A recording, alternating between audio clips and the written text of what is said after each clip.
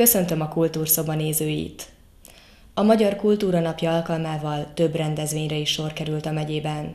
Szexárdon ünnepi hangversennyel köszöntötték az ünnepet, Pakson átadták a Paks kultúrájáért kitüntetést, melyet idén Mádi Magdolna, a Tűzvirág táncegyüttes vezetője vehetett át, míg Dunaföldváron is díjátadásra került sor, melyet egy Pilinszki est zárt. thank you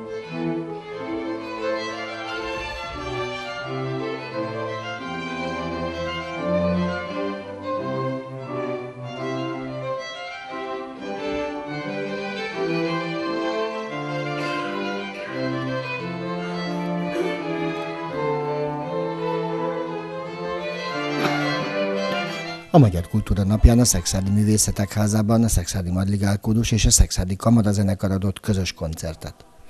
Az ünnepi program megnyitójában Gyurkovics János a himnusz születésére és Kölcsei Ferencre emlékezett. Nem is sejtettek, hogy abban az országban, ahol épp sötét felhők gyülekeztek a magyarság egén, egykoron ez a nyolc verszak és annak is különösen első szakasza a magyarság összetartozásának legfőbb szimbólumává válik. Nem hihette, mert azok a napok, amelyben művét megalkotta, nem igen adtak okot optimizmusra a magyarság jövőjét illetően. Így nem is a jövőbe vetett hit, hanem a nemzetféltés, a nemzetpusztulás félelme sugárzik e nagypesi sorokból. Jobbágy Valér Karnagy a Magyar Kultúra napjáról szólva azt mondta, része az európai kultúrának, és minden kiemelkedő alkotásával annak gyökereiből táplálkozott. Számomra ezzel kapcsolatban a legfontosabb a magyar kultúra beágyazottsága az európai kultúrába. E, mindenki, aki jelentőset alkotott, e, akár zenei, akár irodalmi vonatkozásban, és itt a 20. század legnagyobb, legjelentősebb költőire zeneszerzőire gondolok, az hihetetlen sokat merített az európai gyökerekből, zenei vonatkozásban a 15.-16. századi gyökerekből, a 18.-19. századi gyökerekből, a századfordulós gyökeretből, hát nézzük meg a festészetet, költészetet, mindent.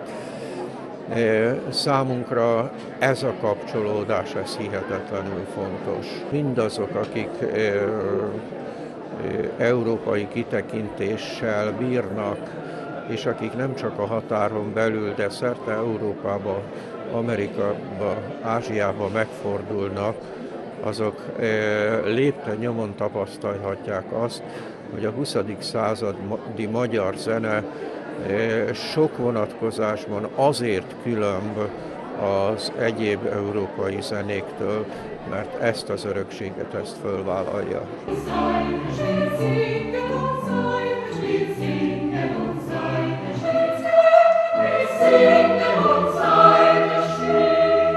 Pakson a Csengei Dénes Kulturális Központ színház termében tartották a Magyar Kultúra városi ünnepségét a kultúra megőrizés megújít, személyeket átjáró közösségeket és maradandó értékeket terem. Wolfhard Pannenberg filozófus ezen szavait idézve köszöntötte a jelenlévőket Szabó Péter polgármester.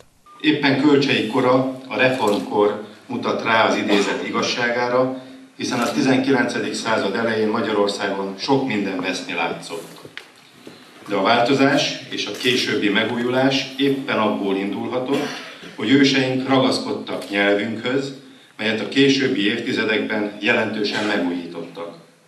Megőrizték népzenénket, melyet bő egy évszázaddal később Kodály, Bartó, Bárdos méltán világhírűvé tett. A városban 2004 óta két évenként ezen a napon adják át a Paks kultúráért kitüntetést, melyet idén Mádi Magdolna vehetett át. A Tűzvirág táncegyüttes vezetője gyerekkorában találkozott és ismerkedett meg a néptánccal. A mai napig fontosnak tartja, hogy a magyar gyerekek, fiatalok közül minél többen ismerjék meg ezeket. Úgy érzem, hogy ez a város nagyon sokat tesz a kultúráért, a tűzvilágért rettenetesen sokat tett. Kívánom, hogy Paks nyüzsgő kulturális hatalom legyen, továbbra is ez legyen. Amelynek polgárai nem ragadnak bele egy felszínes, olcsó, silány showkultúrába, hanem egy mély, értékelismerő, értéket tartó és ápoló város Köszönöm szépen! Mádi Magdolna élete 1980 óta kötődik Pakshoz, ekkor alakult az első néptánccsoport, melyből néhány év alatt egy több korcsoportból dolgozó, komoly szakmai színvonalat képviselő táncegyüttes lett, melynek neve a tűzvirág azóta Pakson fogalommá vált. A kultúra nem bagatel. A kultúra az anyatej. A kultúra nem legyező, a kultúra a levegő.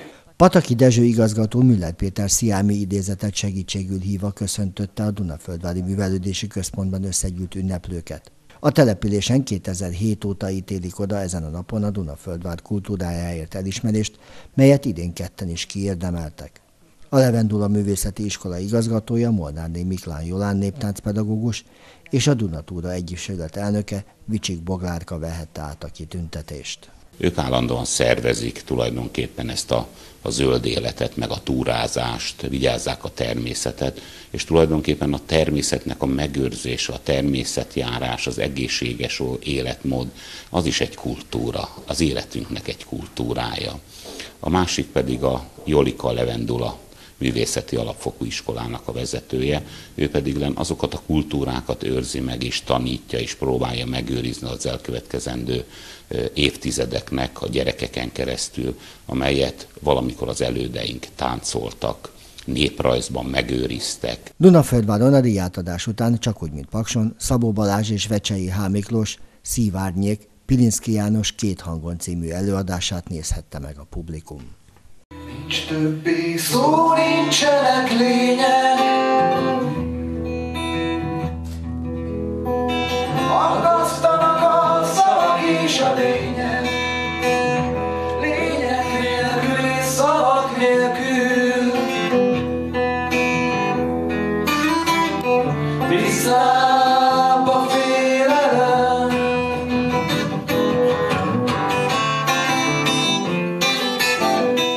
Egy felajánlás hozta a gondolatot a györeieknek, hogy létrehozzák azt a házat, melyben a településen élő alkotók munkáit tekinthetik meg az érdeklődők. A házban a munkák mellett egy különleges kiállítás is helyet kapott, mely egy cégtábla gyűjteményt foglal magába. Ez a szobor Baksis Tibor fafaragó alkotása. Györében áll a nemrég átadott alkotóházzal szemben. Az élet úgy hozta, hogy a település hozzájutott egy ingatlanhoz. A történet további részét Filamella Tibor polgármester meséli el. Ezt a házat úgy kaptuk ajándékba innen elszármazott hölgytől, és hát elkezdtünk gondolkodni, hogy mire tudnánk hasznosítani, milyen célról tudnánk hasznosítani a településen. De hát ugye tájház, faluház már nagyon sok településen van. Azt jött az ötlet, hogy a faluban van egy négy-öt amatőr művész, és úgy gondoltuk, hogy ilyen, hogy helyi alkotók háza még nincs, tehát ö, renováltuk, rendbe raktuk, társadalmi munkában nagyon sok időt fordítottunk rá, és így jött, a, így jött a lehetőség arra, hogy a helyi alkotóknak, helyi amatőr művészeinknek itt tudtunk biztosítani egy kiállító helyiséget. Az alkotók között van tojásfestő, fafaragó, festő, és van olyan is, aki cégtáblákat gyűjt. De erről majd kicsit később. Az imént látott faszobor alkotója Baksis Tibor úgy gondolta, hogy egy ilyen tárlathoz különleges témát kell keresni. Azt tartja magáról, hogy a fa találta meg őt, és nem fordítva történt. Ez 1970-es évekre megy ez vissza, hogy a, egy favágás közben még fiatal voltam, mégis találtam egy diófát, ami kívül el volt rohadva, és belül meg a diófának van az a klasszikus fekete-sötét része. És azt elkezdtem kezdetleges vésőkkel kibontani magát az erezetét, hogy az mit ad ki. Ebből évek folyamán van egy kis non-figuratív kis kollekcióm, de gyakorlatilag innen indult az egész, és utána a többi az, mint egy szakmunkás, tudatosan tanultam a domborművek meg az fafaragásnak az alapjait. A toldi az abból ad, az is egy érdekes következmény. A 20 éves korom óta tervem volt, hogy a Michelangelo Dávidját kifaragom. És a lányom, aki a legfőbb kritikusom is, és társalkotó rajz területén a Toldirán, azt mondta, hogy hát miért azt akarod, azt már megcsinálták, csináld meg a Toldit. És sokáig, meg még benne is van a bakas listában, hogy egy szoborba, de egy ilyen beltéri, tehát egy elfogadott magasságú szoborba megcsinálom, de az már másolás lesz. És akkor, amikor Tibor felvetette a polgármesterről van szó, felvetette ezt az egész alkotó háznak az ötletét, akkor elkezdtem, mivel a toldit nem dolgozták föl még így faragásba, elkezdtem az Ilosvai toldiával foglalkozni.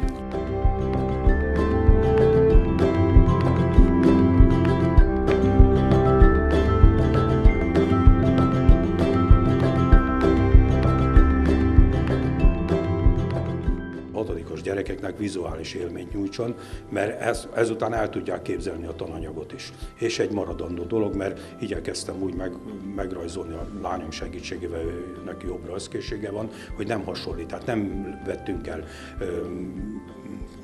se, sehonnan semmiféle alkotásról mozdulatokat, semmit. Egyedi ez az egész. Most egy egyedi üzlet a Szent Hubertus legendáját akarom egyedibe földolgozni, ugyanis mindenki úgy látja, hogy a szarvas fönn van, és meghajol előtt a, a nemes úr a vadász, holott a történet a 13. században úgy van, hogy megölte, és amikor odament, akkor, akkor a halott szarvas szólt már neki aranykeresztel Most ezt akarom egy teljesen új, ebben a feldolgozásban megcsinálni.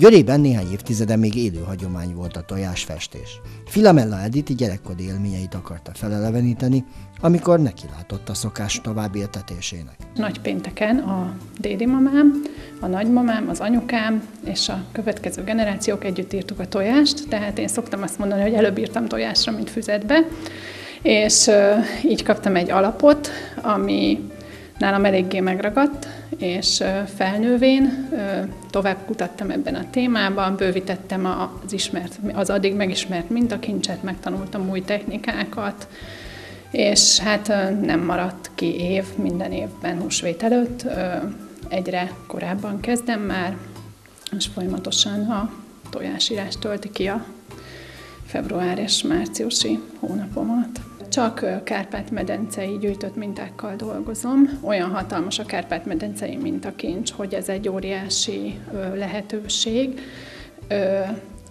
A nagyon sok mintának tudom a nevét is, a jelentését is, tehát igen, gyűjtött mintákkal dolgozom. Minden mintának volt jelentése, nem mindegyiket tudjuk most már kitalálni, de nagyon sok mindennek tudjuk a jelentését.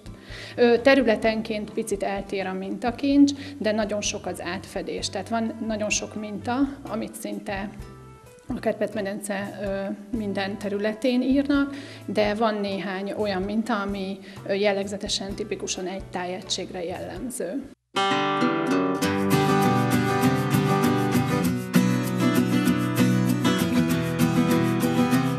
Lednecki Anna festményei elsősorban Györéről szólnak.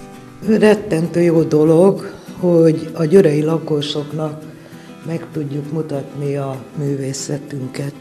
Én 2012-ben kezdtem el festeni, a Bonyádi Képzőművészeti Kör tagja vagyok.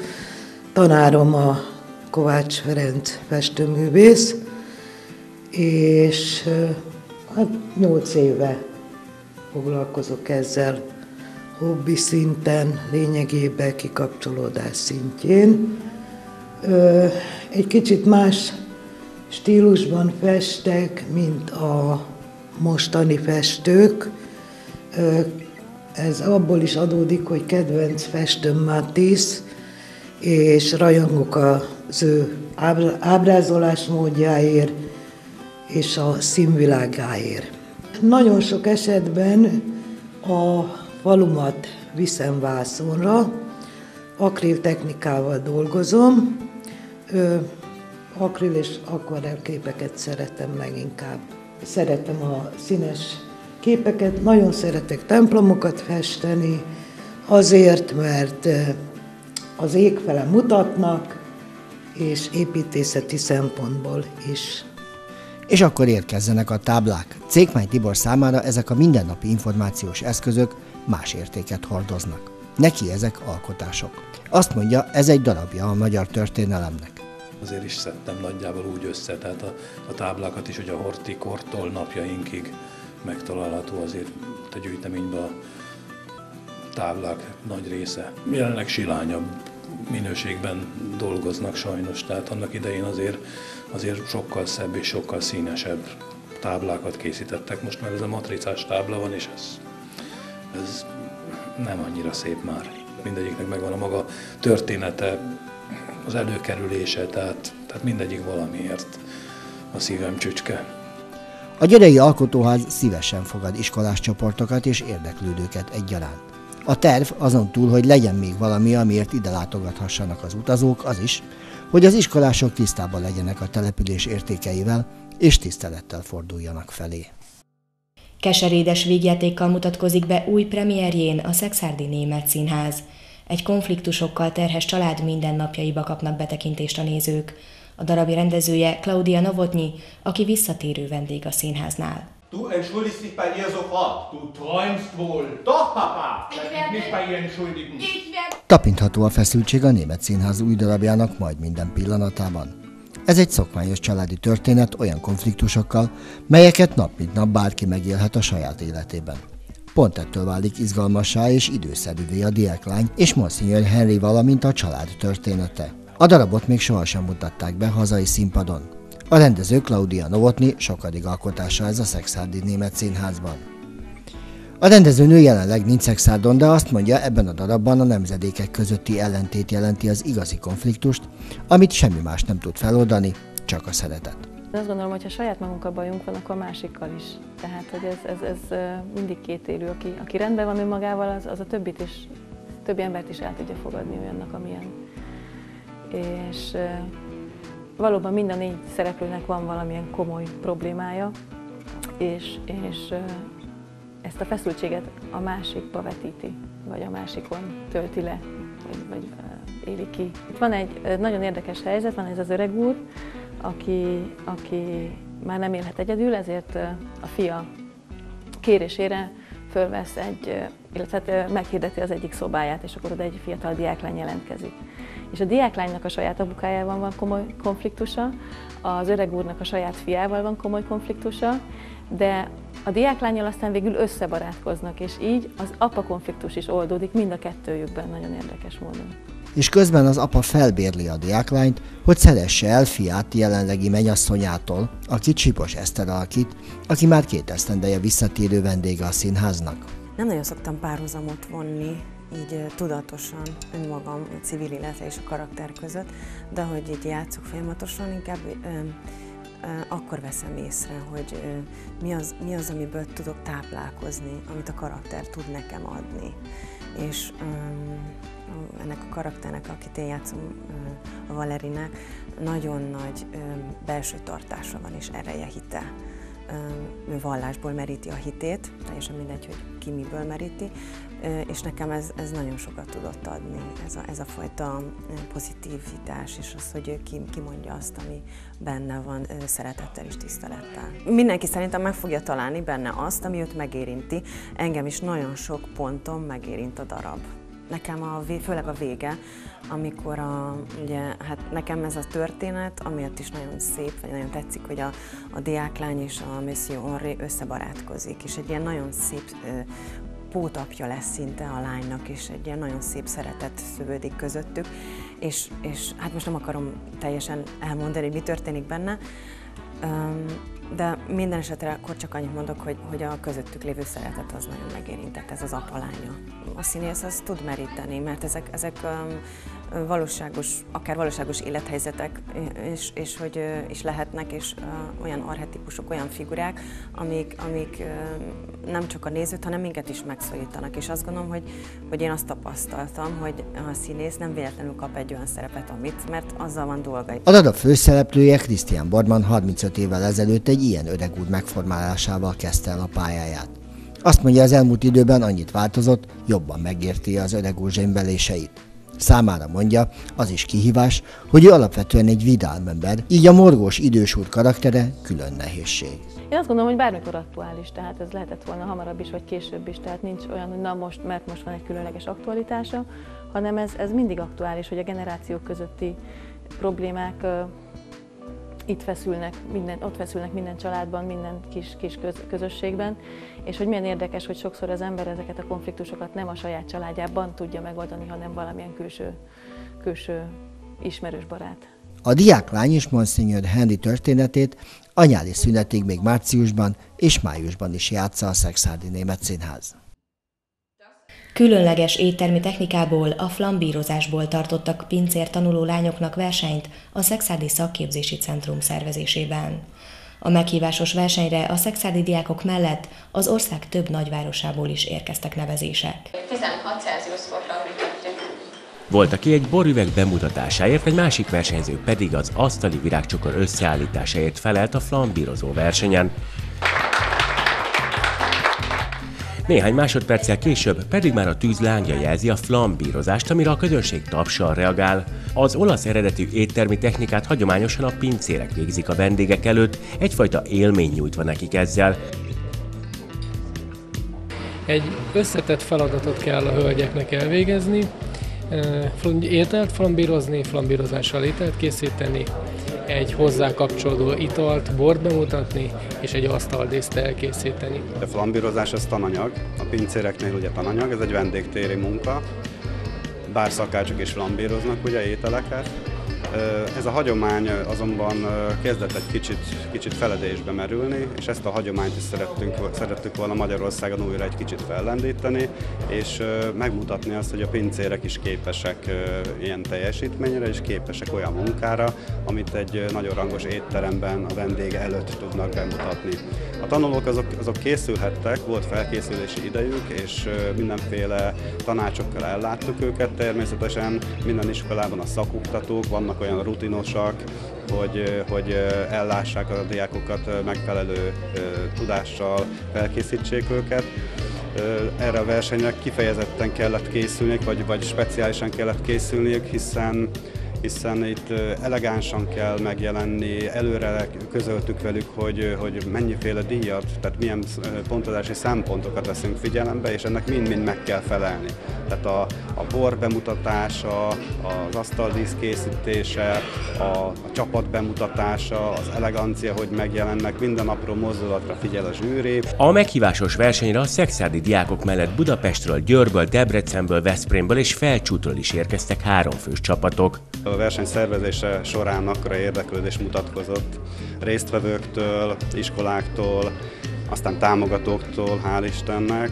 Olyan sokan álltak mögénk, és olyan, olyan sokan láttak benne fantáziát, hogy egy olyan versenyt álmodjunk meg, ami, ami olyan rangos helyszínen zajlik, és, és olyan körülmények között, ami nem nagyon adatik meg az iskolák életébe.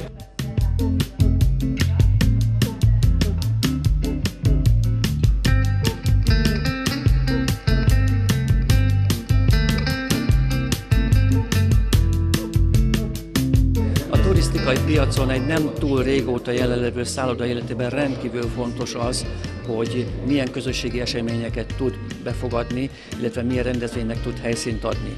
Amikor a szervezők megkerestek bennünket ezzel a lehetőséggel, felismertük azt, hogy ez egy rendkívül komoly kezdeményezés, ami támogatásra méltó, és mi gondolkodás nélkül igen mondtunk erre. Úgy gondolom, hogy egy nagyon nemes célt tűztek ki maguk elé a szervezők. A kis túlzással, vagy nem is kis túlzással országos jelentésű ez az esemény, hiszen felvállalták azt, hogy a szakmai képzést népszerűsítik, és mi ebben mindenképpen szeretnénk szerepet vállalni.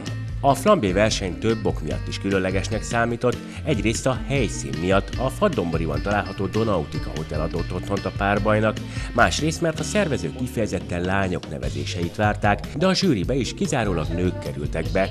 Volt közöttük éttermi szakember, újságíró és kritikus is. A gasztronómiai elismert képviselői ülnek a zsűriben, és a teljes komplex értékelés fog történni, a komplexitás az a teljes versenymunka komplexitását jelenti. Nagyon fontos számunkra ez a rendezvény. A Szexuális Szakképzési Centrum egyik kiemelt fejlesztési területe a turizmus, a vendéglátás és a gasztronómia, és ahhoz, hogy ezt a fejlesztési területet erősen tudjuk felkarolni és erősek legyünk ebben, ehhez mindenképpen szükségeltetik ilyen jellegű megmérettetés is, mint ez a jelenlegi. És a megmérettetés mellett pedig ez azt is jelenti, hogy hírünket is kell vinni az országban, illetve olasz partnerek is vannak jelen, akik szponzori díjat is ajánlottak fel. Tehát ez nekünk ezért is nagyon fontos. Nagyon-nagyon fontos az, hogy, hogy a, a megyében és a térségben egyre erőteljesebb a turisztikai destinációk száma, egyre több olyan turisztikai attrakció jelenik meg, amely, amely kiemelkedő. Ha csak Szexárdról beszélünk, ugye önmagában a Szexárdi bor és a Szexárdi borvidék nagyon jelentős turisztikával bír, de itt van közelünkben Paks, szintén nagyon jelentős turisztikai attrakcióként is megjelenik, de mondhatnám Gemencet, Gyulajt, Tamásit, Gunarast, tehát a megyében nagyon sok olyan terület van, és természetesen ugye itt Domborit, ahol most is vagyunk. A flambírozó versenyt végül a Szexárdi csapat nyerte, így ők képviselhetik Magyarországot az Olaszországi nemzetközi megmérettetésen.